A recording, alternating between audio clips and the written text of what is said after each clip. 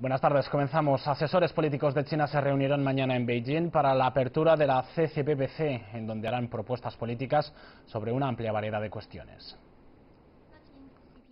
Un portavoz de la Conferencia Consultiva Política del Pueblo Chino informó a los reporteros acerca de las agendas de los asesores políticos para la próxima semana.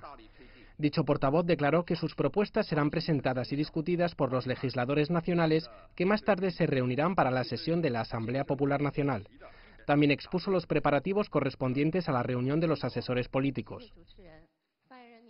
El programa principal de la sesión es el siguiente, escuchar y deliberar sobre el informe de trabajo del Comité Permanente de la Conferencia Consultiva Política del Pueblo Chino y los informes sobre propuestas de trabajo relacionadas para observar la segunda sesión de la decimotercera Asamblea Popular Nacional de China.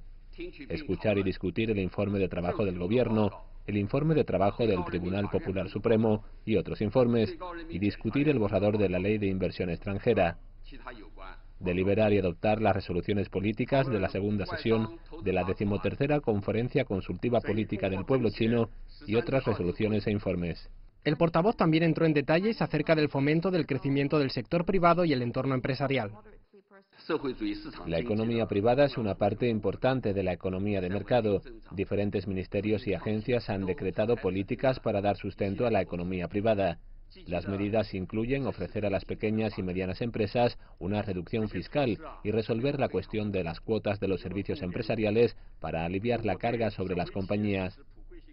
Los reporteros plantearon en la rueda de prensa diversas cuestiones relativas a los temas principales de las dos sesiones de este año, como la economía, la vivienda y la educación, etc. Los asesores políticos de la CCPPC harán las propuestas a las sesiones plenarias en torno a estos asuntos.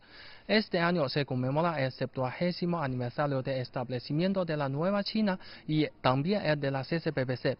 La CCPPC seguirá desempeñando un importante papel en la política china. Juan Xinlu, CGTN en español, Beijing.